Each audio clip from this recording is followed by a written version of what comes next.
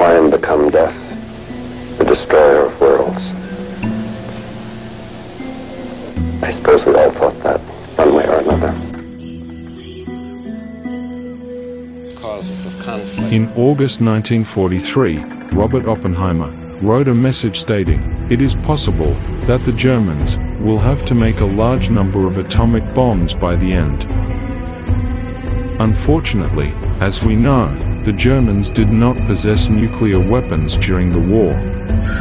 Yet, if a country had successfully developed nuclear weapons earlier, it could have been a significant factor in winning the battle.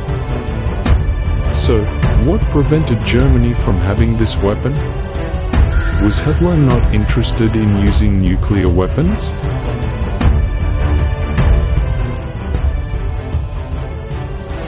On January 6, 1939, German chemist Otto Hahn and his assistant Fritz Strassmann sent a manuscript to a German scientific journal, reporting that they had detected and identified the element barium after bombarding uranium with neutrons.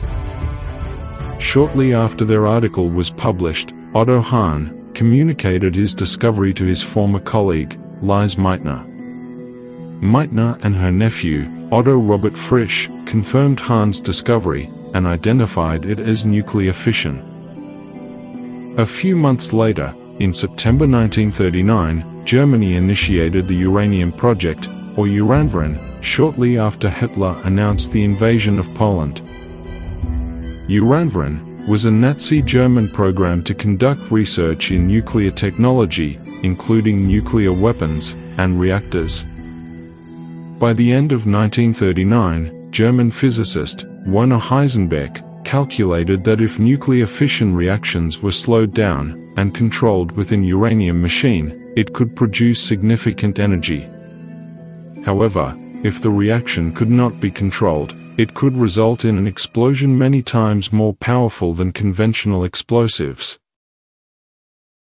In the summer of 1940, Carl Friedrich von Weizsäcker, a friend of Heisenberg, referred to research and writings by scholars from England, Denmark, France, and the United States, to conclude that if the uranium machine could sustain a chain reaction of nuclear fission, some more common forms of uranium, like uranium-238, could be transformed into plutonium. Like uranium-235, plutonium is also a chemical element that can be a very large explosive.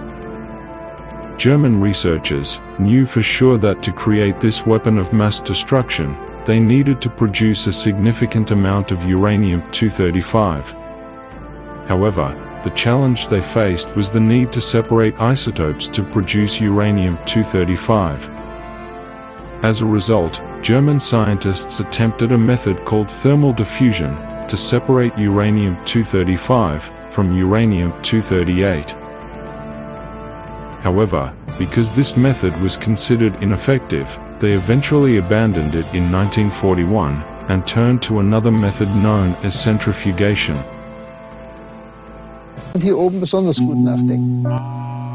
One part of the controversy over the German Uranverein project was in September 1941, when Heinsberg and Niels Bohr met at the Copenhagen meeting. During the meeting, there was a misunderstanding on one side, because Heinsberg vaguely intended to tell Bohr to stop the Allied nuclear project, because Germany was also unable to make nuclear weapons.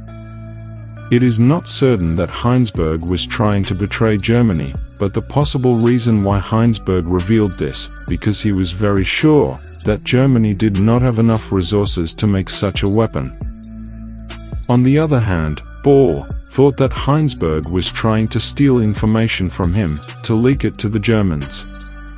Although Bohr misunderstood Heinsberg's intentions, unfortunately, he was already angry and left Heinsberg.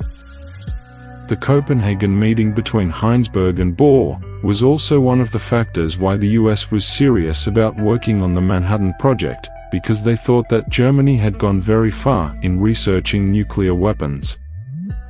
More than that, the reason why Germany never succeeded in making nuclear weapons was the personality of the scientists.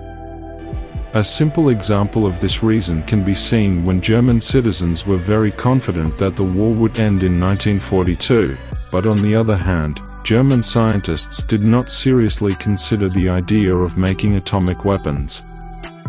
As we know, the manufacture of nuclear weapons is not a short time, and requires a lot of time up to years. Even when German scientists were detained in Farm Hall, England, Heinsberg, tells lack of cooperation between scientists became the reason why the development of German nuclear weapons was slightly hampered.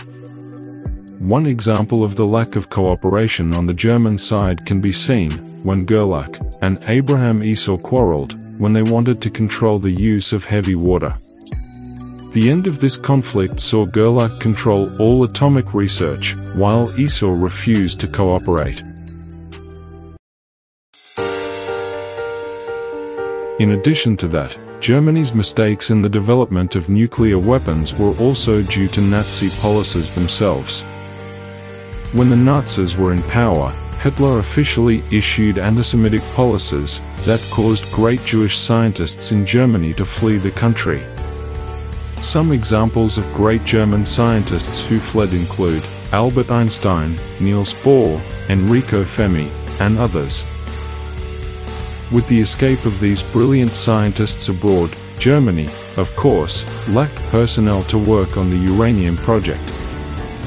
If we compare it to the United States, the Manhattan Project involved around 250,000 people in various divisions, while Germany only involved about 100 people.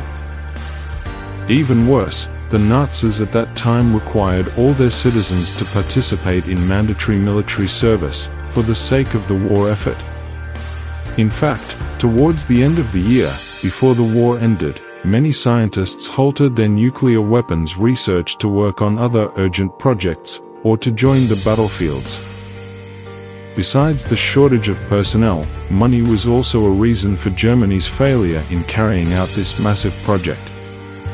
Compared to the United States, Germany spent only about $1 million on research, while the US spent more than $2 billion. At that time, Germany was more inclined to spend its funds on developing missile weapons, rather than the uranium project. Not only that, this situation was exacerbated by the lack of laboratory facilities and engineering spaces in Germany. During the war, many scientists conducted research in small houses, and some even in caves, to avoid bombings by the Allied forces. This was in stark contrast to the US, which used specialized locations like the University of Chicago Laboratory and Los Alamos for its research. One last material aspect that hindered Germany was the slow adoption of graphite to moderate the speed of reactions. At that time, Germany was still using heavy water for this purpose. As we know, the heavy water storage facility in Norway was repeatedly sabotaged by the Allies. In 1943, Germany was forced to relocate its heavy water to a safer location. However, in the end, this relocation of heavy water was once again successfully sabotaged by the Allies. With only 2.5 million tons of heavy water remaining, Germany had lost hope of developing nuclear weapons.